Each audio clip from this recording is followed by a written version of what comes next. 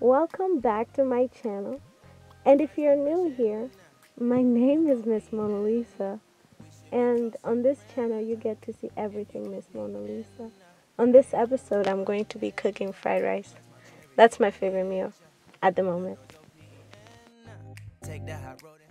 In our household, we are plant based. Um, it is very easy for me to make plant based meals because I have been plant based for two years. I had been on and off for a while until now I'm permanently plant based. We should be closer than friends.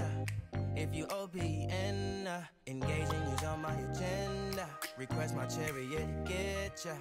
The door's open. It is very important for me to make my own meals because I would like to know exactly what I'm putting into my body as I know exactly how to communicate to my body. I have an understanding that the food that we eat is a direct program to our body, and if you want your body to perform at its optimal best, you must eat the best diet possible, which is a plant based diet.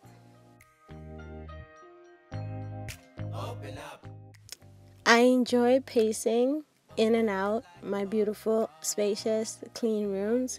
That just creates sanity for me, and I feel good to like live clean, eat clean, breathe clean, and I encourage everybody to look around your space and decide what's important, what do you really need in your space. Otherwise, I encourage everyone to declutter and live clean and live with less and find meaning in your life still.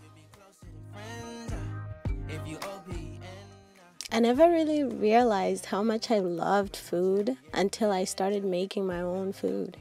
And like imagine like growing your own food and like having your own way to your own body and communicating to yourself in the best way possible because you care about yourself. And for me, like, really, I'm doing it for me. And, like, that's the best part. I'm doing everything at my own pace, and I get to learn and grow and expand and see beyond myself. And that's the best part, you know? And yeah. I really enjoy vegan meals.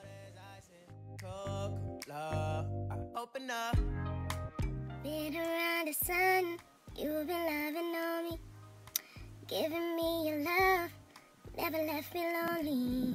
You be putting in and you be putting out the hours, giving me your love, extra vibes and extra hours.